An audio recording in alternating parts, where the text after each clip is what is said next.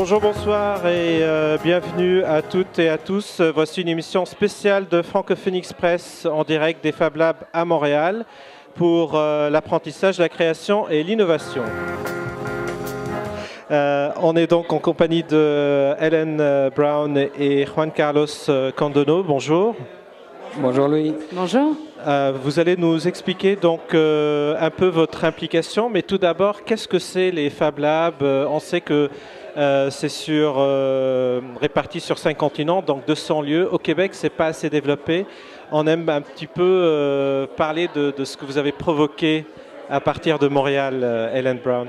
Les Fab Labs, comme vous l'avez dit, c'est un réseau mondial d'ateliers citoyens de fabrication, une mise en commun des outils, des machines, des idées et des connaissances pour innover, créer, c'est une résidence de trois semaines.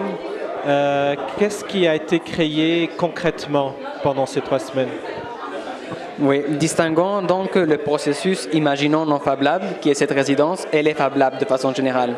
Le processus, il visait à explorer la question de comment est-ce que les Fab Labs peuvent contribuer à dynamiser nos milieux de façon générale.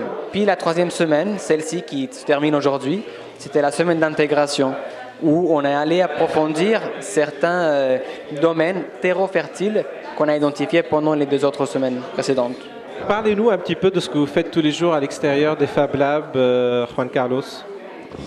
À l'extérieur donc de ce processus, euh, moi je m'intéresse beaucoup aux pratiques collaboratives, donc toute une série de méthodologies qui permettent à des groupes de travailler mieux ensemble. Et quand je dis mieux, ce que j'entends par ça, c'est de façon plus engagée et participative. Euh, je m'intéresse à l'espace public, je m'intéresse euh, aux humains, j'aime beaucoup les humains. Et de façon générale, tout ce qui peut contribuer euh, à faire notre monde un, monde meilleur. Ce que je, veillais à apporter lors de cette résidence, c'était un regard et un soin particulier au niveau du processus. Donc mes collègues sont aussi outillés à ce niveau-là et en plus ils ont le regard technologique, scientifique euh, moi, ce que j'apportais, c'était aussi le regard territorial. Donc, en effet, comment est-ce qu'on se répartit euh, dans le territoire et comment est-ce que les humains bah, font en sorte de se, de se l'approprier ensemble. Très bien. Et pour vous, euh, Ellen Brown, donc qu'est-ce que vous faites à l'extérieur des Fab Labs? Alors, pour ma part, je m'intéresse aux espaces de création aux espaces ouverts à la collaboration et aux nouvelles pratiques qui permettent d'aller chercher l'intelligence collective et de permettre une, collaboration, puis d'aller chercher euh, un peu euh, tout ce que, ce que l'humain porte et d'avoir des discussions significatives.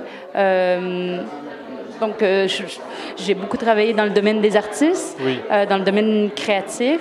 maintenant, là, on est dans la créativité populaire ouverte à tous. Est-ce que vous êtes satisfait de ce processus ici au Fab Lab ou qu'est-ce que vous aurez espéré améliorer peut-être pour la prochaine résidence Je pense qu'après trois mois d'avoir rêvé, prototypé, cultivé nos Fab Labs, on peut sentir un véritable engouement dans différents secteurs d'activité pour ces espaces de, création.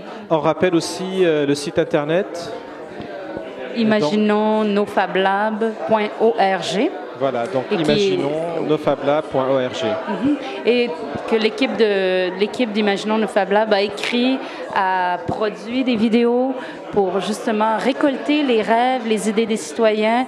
Donc tout ça est en ligne ouverte euh, et accessible. Très bien.